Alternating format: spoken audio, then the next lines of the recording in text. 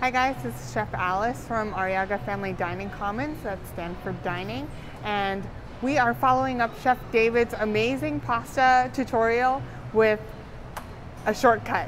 So we are going to be making fresh pasta today and we're using a mixer um, that will cut the time in half and it's just a quick and easy way to make pasta at home that's not intimidating, it's super simple, so we're gonna get started.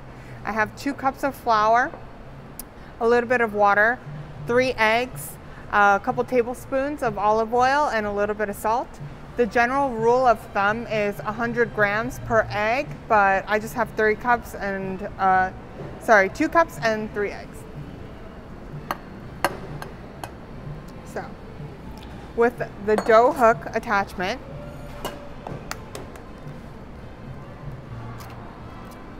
I'm just gonna add all the eggs and the flour.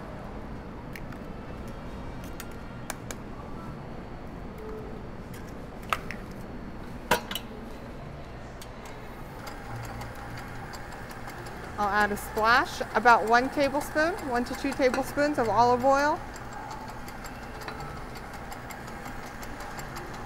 So recipes are really guidelines and you want to see and look at the consistency of the pasta. And it'll start to come together and I'll add a splash of water to help it along. So I have some dough that I did earlier today. And you have the beautiful yellow color from the egg yolks.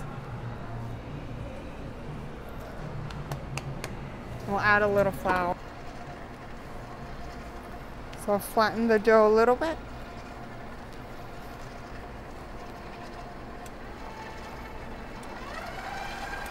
And at a slow and steady speed, starting at the widest setting and slowly moving up in increments, you'll roll out your pasta dough.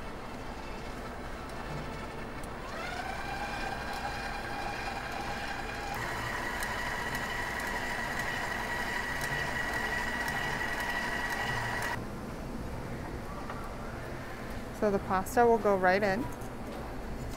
This takes only about a minute to cook.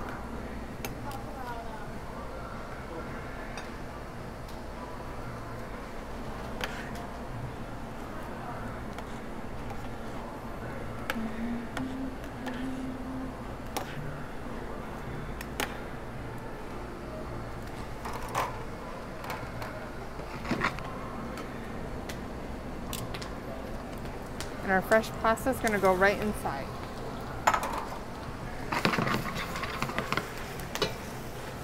Quick toss. A little extra salt.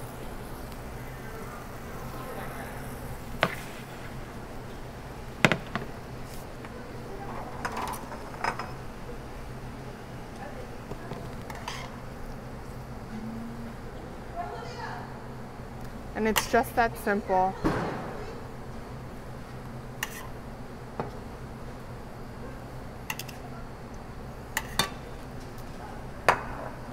Fresh pasta in your home.